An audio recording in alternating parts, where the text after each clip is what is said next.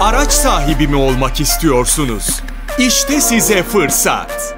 Devletinden.com'dan yüksek ÖTV'li araçlar.